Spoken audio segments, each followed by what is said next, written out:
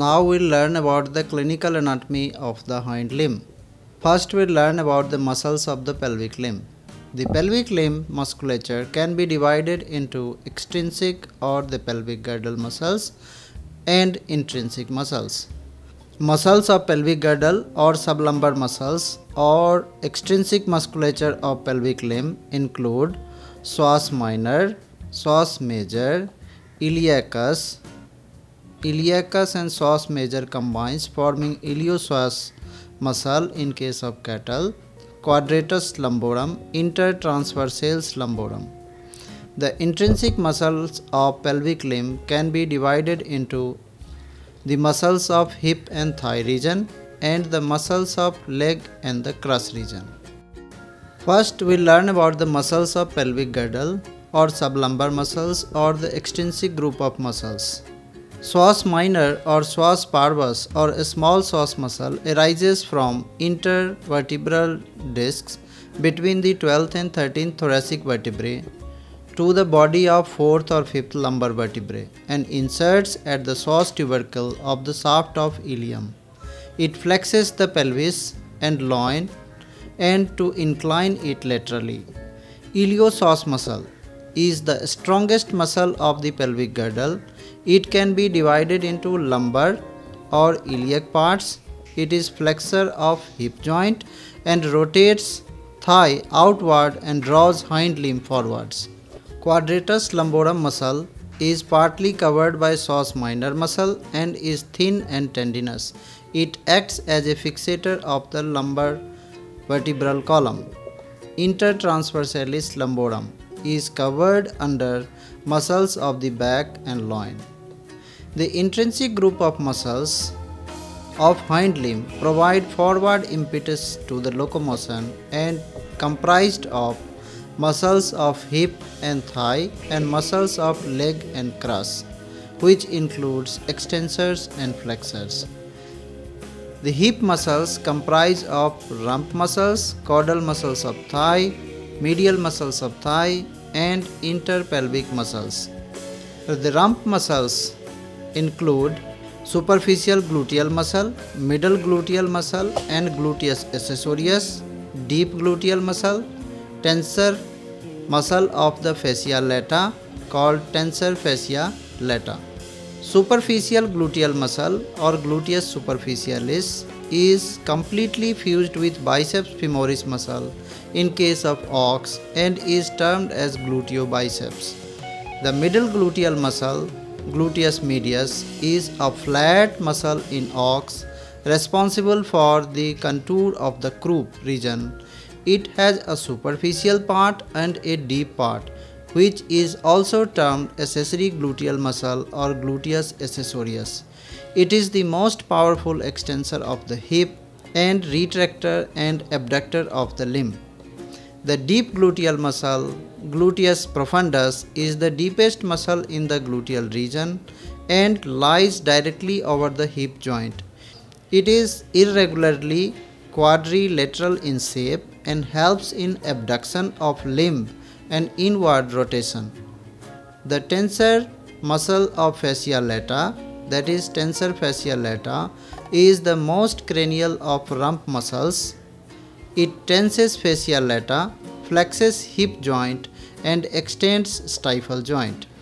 The caudal muscles of thigh comprised of gluteobiceps muscle or biceps muscle of thigh that is biceps femoris, semitendinosus muscle, semimembranosus muscle, the gluteobiceps or biceps muscle of thigh that is biceps femoris is the largest and most lateral of the caudal muscles of the thigh. The vertebral head is firmly fused to superficial gluteal muscle forming gluteobiceps muscle in case of cattle and buffalo. The united muscle belly splits into two tendons of insertion. The anterior part is inserted on the free surface of patella, lateral patellar ligament, fascia lata, tibial tuberosity, and the calcaneal tuberosity. The posterior part is inserted into fascia of leg and the groove between the two is called as poor man's groove. The cranial part extends the hip and stifle, whereas the pelvic head extends the hip but flexes the stifle.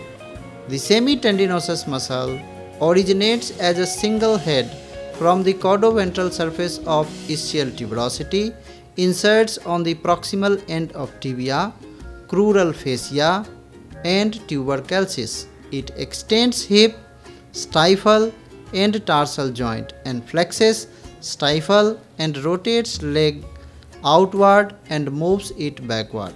Semimembranous muscle is the most medial muscle of the hamstring group. It extends from tuber ischiae in a oblique manner downwards and forwards to upper part of medial face of leg mostly covered by gracilis muscle. The muscle originates from ventral aspect of ischium and tuber ischiae and inserts on medial condyle of tibia. It extends the hip and stifle joints in the weight bearing position Medial muscles of thigh. The muscles of this group are primarily responsible for abduction of limb. These muscles extend between pelvic floor, femur of medial side of thigh. This group comprises of following muscles sartorius, gracilis, pectineus, adductor. The sartorius muscle is a narrow strap-like muscle which lies superficially on the craniomedial aspect of thigh. The muscle is divided at its origin into two heads by passage of femoral vessels. It is inserted on medial patellar ligament, crural fascia and tibial tuberosity. It flexes the hip and adducts the limb. The gracilis muscle forms an extensive broad muscular sheet which covers the greater part of caudomedial surface of the thigh. It is a strong adductor of limb and assists in extension of stifle joint. The pectineus muscle is a small conical fusiform muscle situated under sartorius and gracilis muscle. It is a flexor of hip and abductor. The adductor muscle extends from the ventral surface of the pubis and ischium in a oblique direction downwards, forwards and outwards to the medial part of the posterior surface of the femur. Major function of this muscle is adduction of the limb but they also retract the limb. The femoral canal is bounded by vastus medialis and sartorius muscles in craniomedial side, while the gracilis and pectineus muscles forms the caudal boundary. The structures that pass through the femoral canal are femoral artery, femoral vein and the saphenous nerve. The inner pelvic muscles form a heterogeneous group of small muscles which are situated close to hip joint and includes internal obturator muscle, external obturator muscle, gemellus, quadrate muscle of the thigh that is quadratus femoris. The internal obturator muscle is situated on the floor of pelvic cavity mostly behind the obturator foramen and it rotates the femur outwards. The external obturator muscle or the obturator externus is a short, thick, flat muscle which arises close to obturator foramen from ventral pelvic surface and terminates in trochanteric fossa. It acts as a supinator of femur and adductor of the limb. The gemellus muscle is a thin, small muscle which extends from ischiatic spine to trochanteric fossa.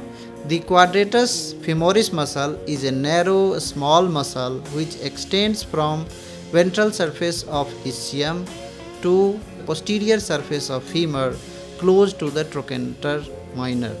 Muscles of thigh region the quadriceps muscle forms the bulk of muscle cranial to femur. It consists of four heads.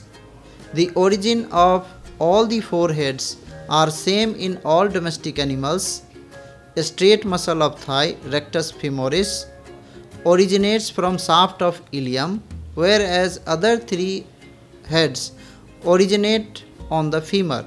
It acts as extensor of stifle joint. The quadriceps femoris muscle comprises of vastus lateralis on craniolateral side, vastus medialis on medial side of femur, vastus intermedius is covered by other three heads and straight muscle of thigh that is rectus femoris between medial and lateral heads of the quadriceps. The popliteal muscle lies directly over the caudal aspect of tibia. It acts to flex the stifle and rotate the leg inward. The muscles of leg and the crus comprise extensor and flexor of the tarsus and digits and according to location of their bellies, these muscles are grouped into two categories. Craniolateral aspect of tibia, extensors and on caudal aspect of tibia are flexors. The craniolateral muscles of leg and crus or the extensors of leg and crus. These muscles have long extended fleshy bellies and arise either from the distal end of femur or from the proximal end of tibia or fibula. Their tendon of insertion ends either on to metatarsus or to phalanges. The muscles in this group are cranial tibial muscles, peroneus tertius, common or long digital extensor, medial digital extensor, peroneus longus, lateral digital extensor. The cranial tibial muscle is the most medial muscle on the cranial aspect of tibia and is partly covered by peroneus tertius. It acts to flex the hock. The complex muscle this group arises from extensor fossa of lateral condyle of femur and the muscles in this group are peroneus tertius which is a strong fleshy muscle in ox and inserts on distal tarsus or proximal metatarsus. Long digital extensor muscle or common digital extensor muscle the tendon of insertion divides into a branch for each of the functional digit. Further distally to end on extensor process of distal phalanx, it extends digits and assists in flexing the hock. Medial digital extensor muscle inserts on the medial digit. Long fibular muscle or peroneus longus originates at the lateral condyle of tibia, fibrous cord of fibula and inserts at the first tarsal and proximal end of large metatarsal. It helps to rotate hock inwards. Lateral digital extensor muscle or extensor digitorum lateralis originates from lateral collateral ligament of stifle, lateral condyle of tibia and inserts on middle phalanx of lateral digit. The muscle extends the digits and assists in flexing the hock. Extensor digitorum brevis is a narrow muscle situated on dorsal surface of metatarsus. It originates at a depression on dorsal surface of metatarsal and inserts at tendon of long digital extensor.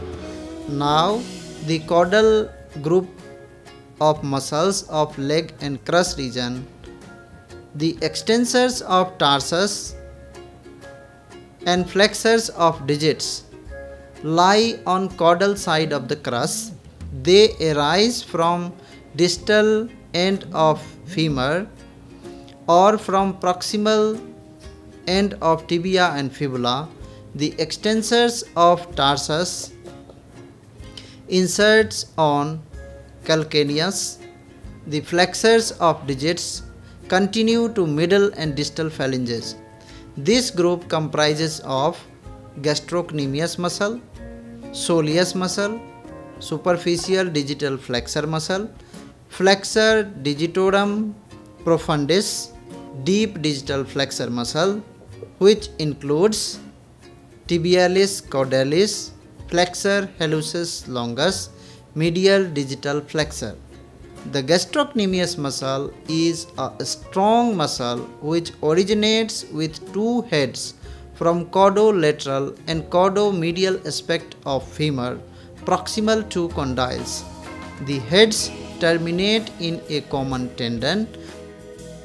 The soleus muscle is a weak muscle which originates at proximal rudiment of fibula and lateral head of tibia and inserts at lateral condyle of gastrocnemius above its middle. It acts to assist gastrocnemius in extension of hock. Superficial digital flexor muscle originates from supracondylar fossa on the caudal aspect of femur. It passes deeply enclosed between the two heads of gastrocnemius muscle. At the tubercles, it broadens to form a cap the superficial digital flexor tendon continues distally, divides into a branch for each functional digit at the distal tarsus. A little above the fetlock joint, the united tendon divides into two and each division unites with one division of suspensory ligament to form a ring for passage of tendon of deep flexor muscle. It inserts on volar surface of proximal extremity of second phalanges of digits. It extends the digit and also assists in extending hock and flexing the stifle joint.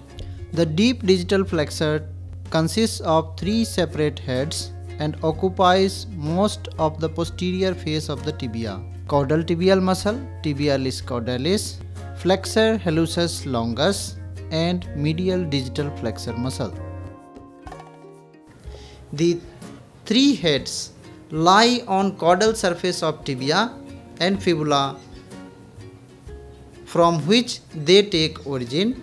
They unite to form a strong tendon, the deep digital flexor tendon above tarsus and common tendon passes through tarsal sheath and then descends in metatarsal region and inserts with a branch for each functional digit resulting in two tendons of insertion in ruminants. It flexes the digits and extends hock.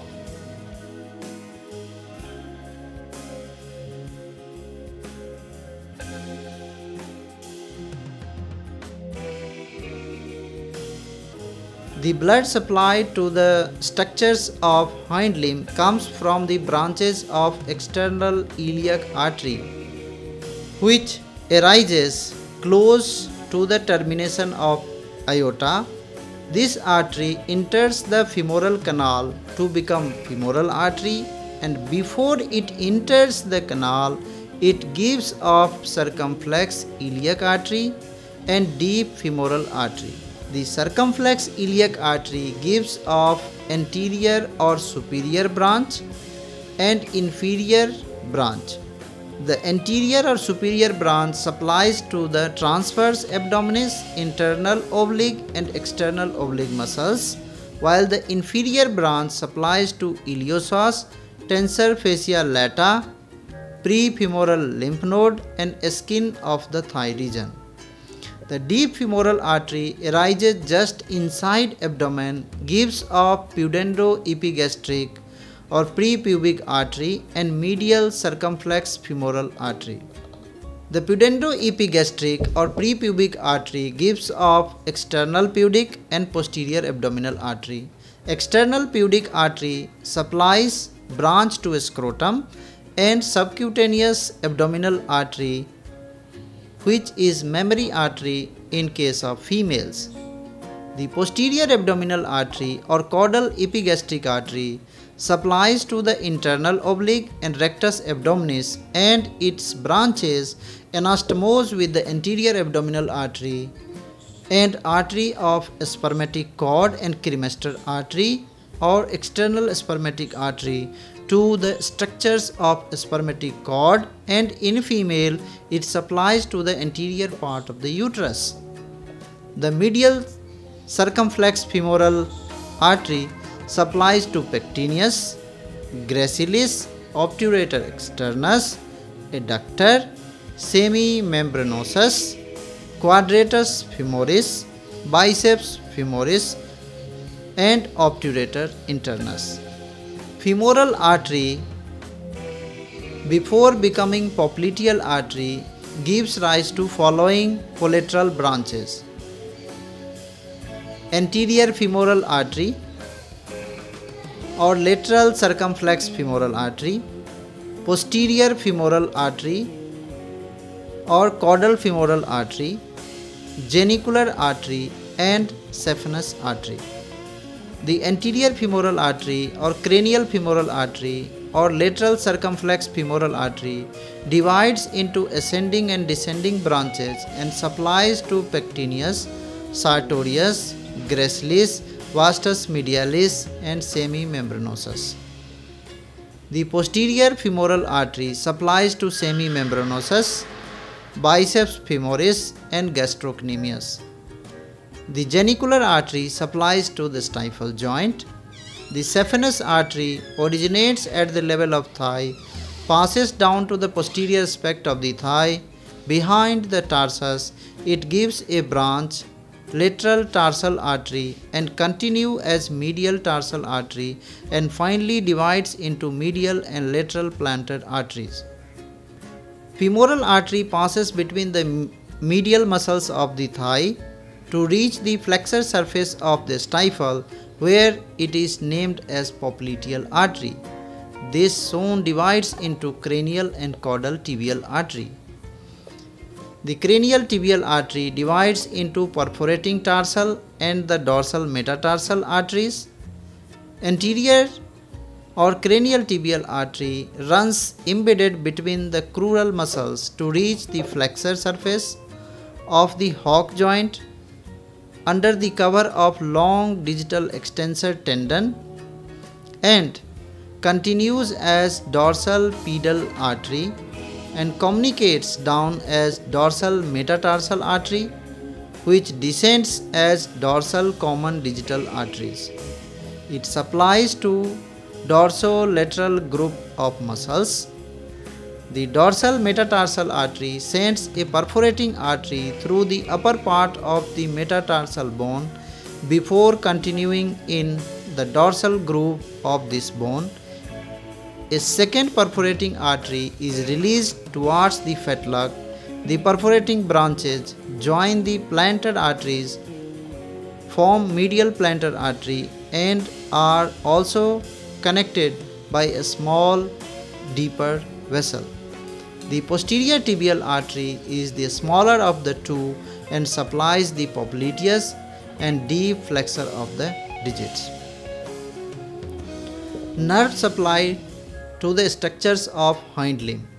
The motor and sensory nerve supply of the hind limb structures originates from the network of nerves called as lumbosacral plexus.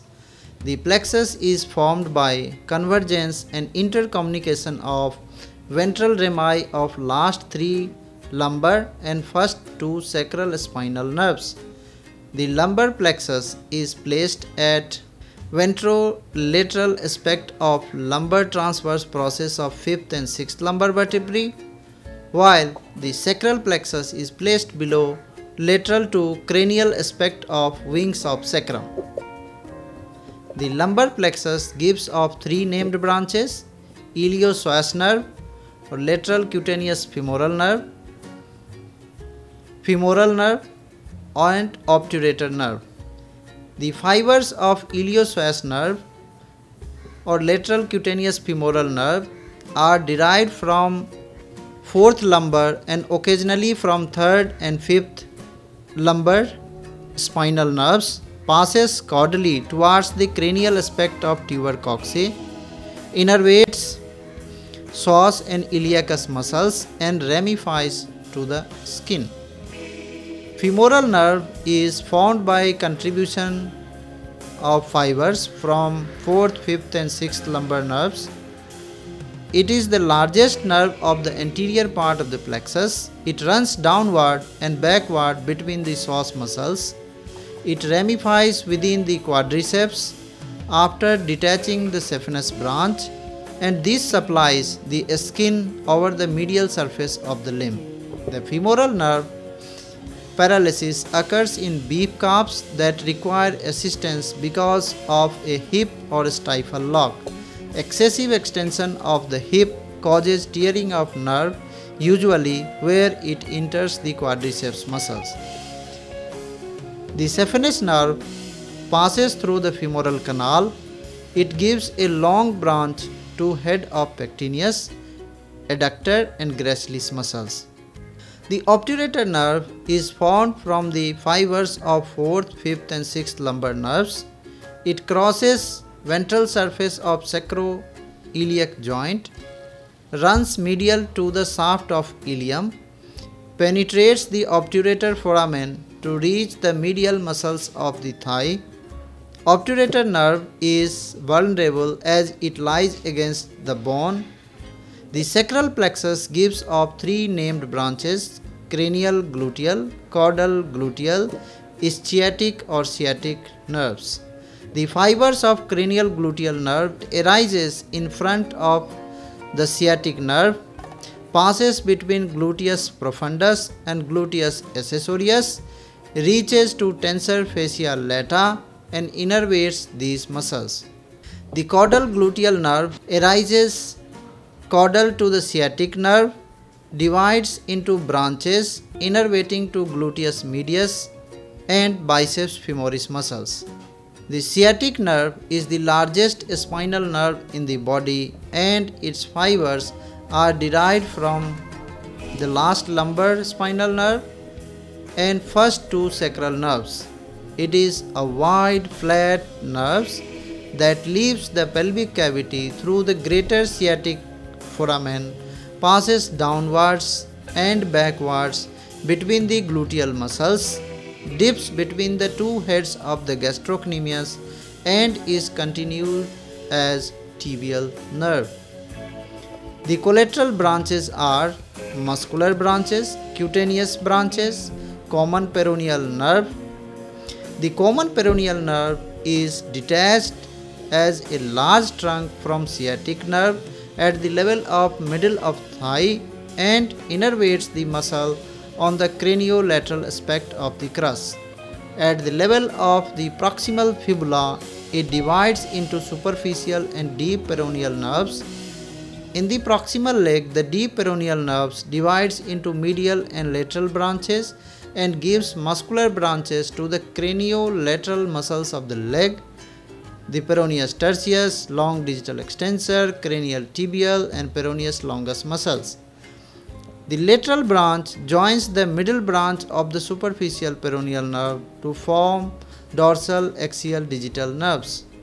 The larger superficial peroneal nerve crosses deep to peroneus longus to enter the foot and innervates the extensor muscles. It branches into medial, middle and lateral. The medial branch descends as dorsal medial abaxial digital nerve. The middle one joins the lateral branch of deep part of peroneal nerves and continues as dorsal common axial digital nerve. The lateral branch continues as dorsal lateral abaxial digital nerve. The paralysis of the common peroneal nerve is betrayed by overextension of the hock and overflexion of the most distal joints. Unless passively set down correctly, the limb rests on the dorsal surface of the flexed digit. The animal eventually learns to compensate for this defect by flicking the foot forward before placing it on the ground. The tibial nerve is continuation of the sciatic nerve between the two heads of gastrocnemius its collateral branches supply all the muscles of the posterior aspect of the leg. Medially, above the hock, the tibial nerve divides into large medial and relatively thinner lateral plantar nerves. The plantar nerves run in metatarsal region on each side of the flexor tendon. The lateral plantar nerve forms the plantar common digital nerve 4 and abaxial plantar proper digital nerve 4.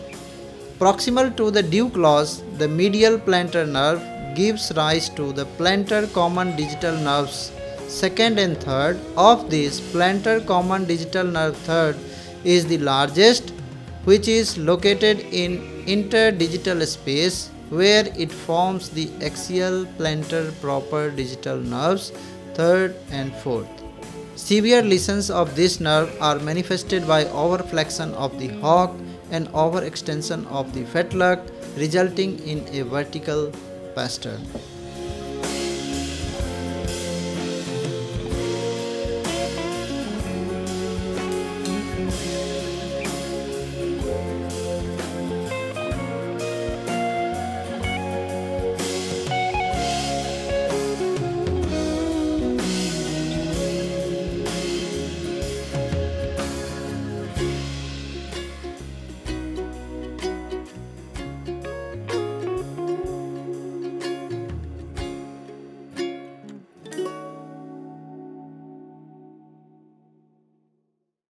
Watch more educational videos on veterinary and animal sciences, subscribe the channel and please touch the bell icon.